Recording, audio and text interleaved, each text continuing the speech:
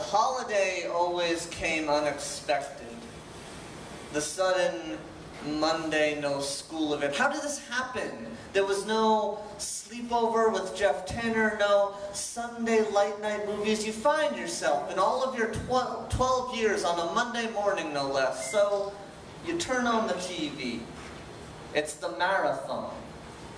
Never mind the Boston Red Sox. The marathon is the main event, the 26.22 longer than New York of our most twisted logic. The concave ear of all of 495 turns to pay attention. They say that running is mostly mental.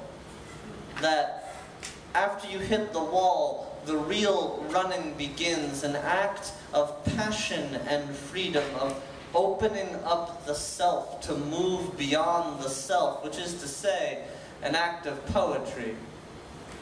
As a preteen in the Blue Hills, I learned this is what a winner looks like.